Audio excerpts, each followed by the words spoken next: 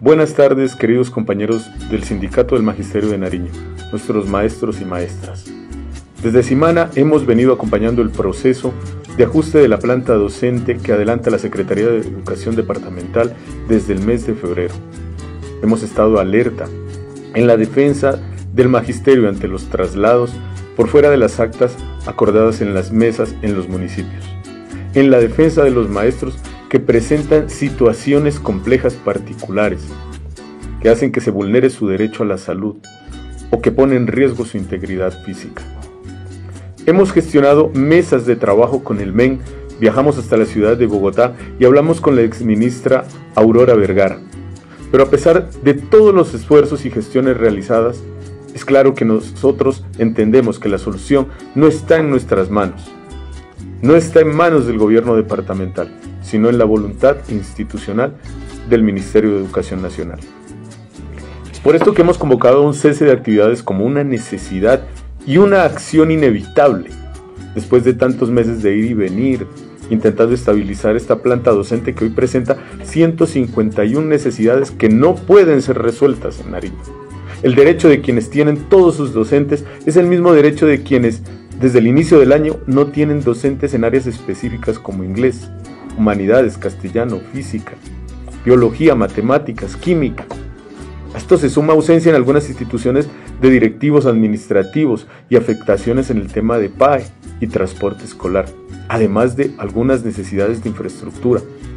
Sumarse al cese es un tema de conciencia social y sindical, de solidaridad para con nuestros compañeros en favor de una mejor educación en condiciones dignas. Hemos emitido la circular aclaratoria a la resolución 056, que convoca el cese de actividades, donde especificamos que las comunidades con carencia de infraestructura, administrativos, docentes, PAE, transporte escolar, entre otros, deben gestionar los recursos con los alcaldes para que una comisión se desplace hasta la ciudad de Pasto el día martes y poder realizar el plantón en la gobernación del departamento. Los docentes que acompañen estas comisiones deben ser delegados por parte de las subdirectivas y comités de base, garantizando sus viáticos de transporte y demás, ya que Semana Departamental no los puede cubrir. El día lunes se garantiza servicio de transporte, más no servicio de PAE. Esto nos ha informado la Secretaría de Educación Departamental y por lo tanto la actividad con estudiantes no podrá pasar de la hora de descanso. El cese apenas inicia, compañeros y compañeras.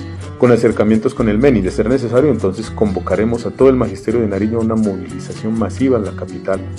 Por ahora, es necesario informar y concientizar a las comunidades educativas en cuanto a la problemática, para lo cual haremos llegar un documento claro que resume el completo y complejo proceso adelantado desde inicios del año, el ajuste realizado a la planta docente y las dificultades que aún persisten y no han podido ser resueltas. Aclaramos que la comisión que asistirá a la ciudad de Bogotá con el fin de tener la mesa técnica de alto nivel con el Ministerio de Educación, el doctor Daniel Rojas, Está conformada por los representantes de las organizaciones sindicales, ya ha sido conformada. Aquí estarán representantes eh, de diferentes organizaciones del sector de la educación, alcaldes de los municipios afectados y equipo de la Secretaría de Educación Departamental. Los compañeros que tienen su lugar de residencia en Pasto y laboran en los municipios y departamento y que solicitan participar de la actividad del día martes deben ser autorizados por sus subdirectivas y comités de base. Desde Simana Departamental Hacemos un llamado a la solidaridad, a la disciplina sindical y a la unidad en estos momentos críticos para la educación. Estimado maestro y maestra, hoy son los compañeros de la cordillera, del Piedemonte, de la costa pacífica, del norte de Nariño los más afectados. Mañana puede ser cualquiera de nosotros. Simana firme en unidad, movilización y lucha. Feliz tarde para todos.